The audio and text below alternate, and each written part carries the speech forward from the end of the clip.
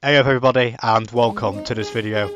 First of all, I just want to say a massive thank you to everyone that, uh, that watched the first episode of this series. Um, it did really well, it's probably the best performing video on my channel for quite some time now um, and I really enjoyed making it and I hope as well that the uh, this, this, this series will live up to the hype that has uh, obviously been set by the first episode.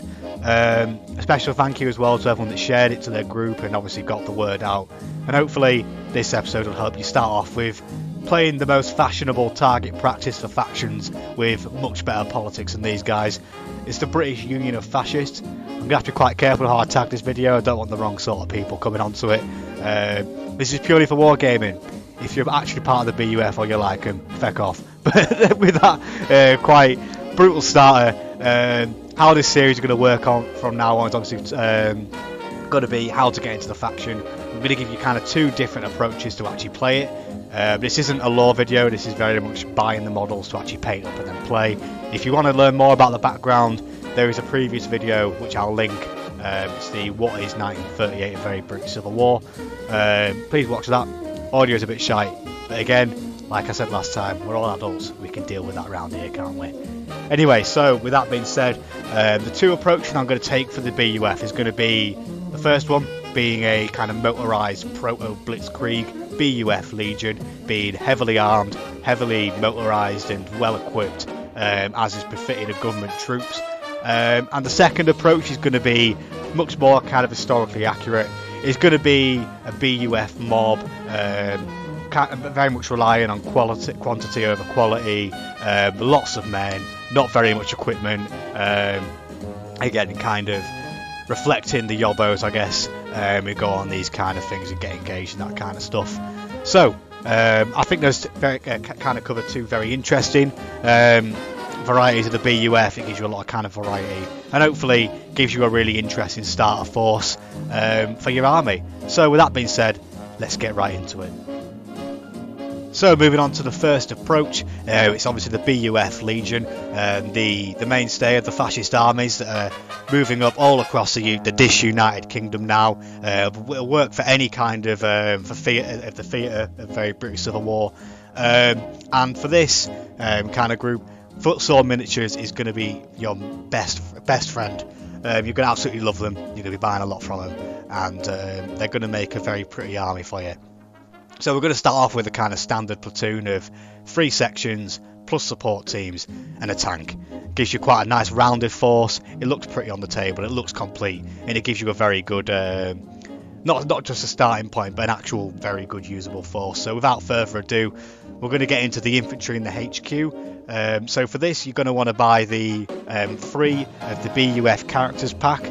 That gives you an officer, a banner bearer, a SMG sergeant, and a um, Legionnaire with a LMG, as well as six of the BUF infantry packs.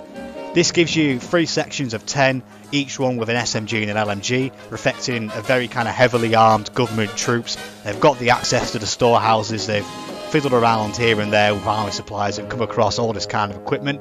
Um, so you have some quite formidable squadrons there. And it also gives you the officers and the banner bearers with some very pretty flags uh, which of course, like I said in the last video, we absolutely love to see. Everyone loves a pretty flag, and although you know what, um, the BUF might not be the best people out there, but they're definitely quite stylish, and the flags live up to that. So that gives you your mainstay there. That's uh, that's nine packs you're going to be buying from them, um, and I'll give you a kind of price total towards the end of it. But that's going to be a very solid foundation. You probably won't have to build up too much off that. Uh, in terms of expansion as well, you could replace one of these squadrons with some BUF cavalry for a more kind of rural, less motorised force, kind of reflecting the fact that they're a bit out of the sticks. They might have access, they might not have the access to like as much petrol or the me- uh, mechanical supplies or the engineers, that kind of thing. Or if you really wanted to, you could also incorporate German foreign legions. Um, uh, in, in, terms of the lore, Hitler and Mussolini were too busy focusing on the continent uh, to get into Britain. But if you really wanted to, you could throw some Germans in there. I know I, I definitely have. But anyway, we, we, will stick to the standard. I won't go into those too much. Those are some little kind of branching off ideas you could do. In terms of support teams, uh, you're going to want to get the BUF heavy machine gun again by Footsore. It gives you three figures there with a, a very nice Vickers machine gun. Not too powerful in terms of bolt action, but machine guns are cool. They're very thematic and they look good. Um, you're also going to want to get the Universal Mortar 2, a very interesting name, uh, by Empress Miniatures in their Spanish Civil War range.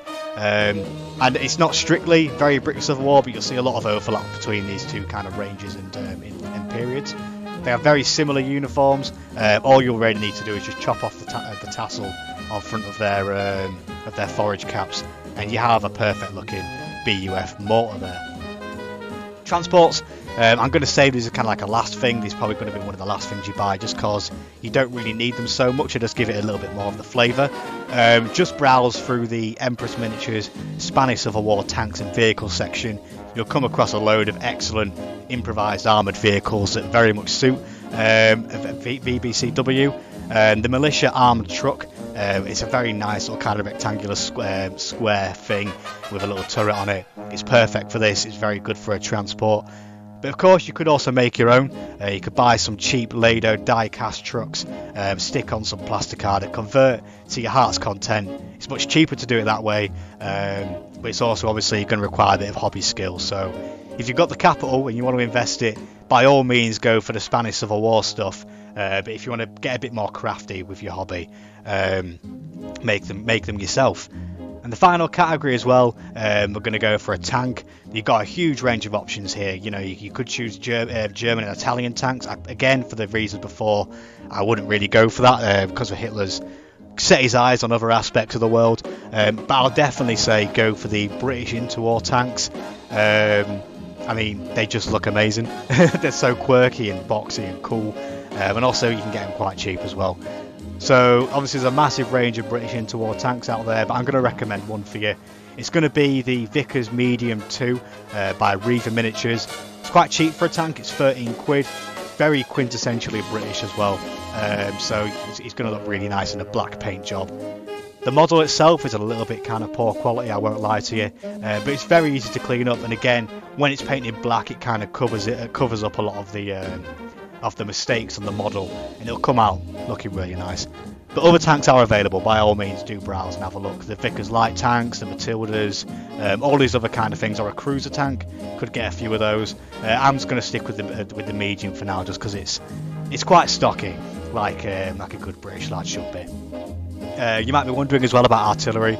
In terms of the lore, uh, the BUF had very little access to artillery. The army, the well, the remnants of the British Army are very kind of keen to keep their hands on that. So it's going to be your biggest weakness as a BUF player, getting your hands on artillery. But if you've got that manoeuvrability, um, it's going to be your greatest strength. You can kind of outmaneuver the artillery placements, not get yourself looking behind too much, and keep yourself on the go.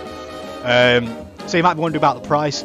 All that together, that being the free infantry squads, your officers, your support teams, your tank and your transports, is going to be 137 quid. I've got it down to. Uh, but without the transports, it sounds much more reasonable. Um, 89 quid. So I don't think that's too bad for what is going to be a very solid army. You're probably going to not want to expand that too much. It should get you through most games. So 89 quid ain't too bad. And of course, you don't have to buy it all in one. In fact, I would not recommend you buy it all in one. Buy it in stages, get yourself used to the scheme, and of course, you can build up from there. Right, so with approach number two, I've labelled this as the fascist mob. It's going to be a much less competitive kind of army, uh, but it will certainly be quite fun with a, a human wave style of combat, um, kind of reminiscent of Enemy at the Gates of that film was actually accurate.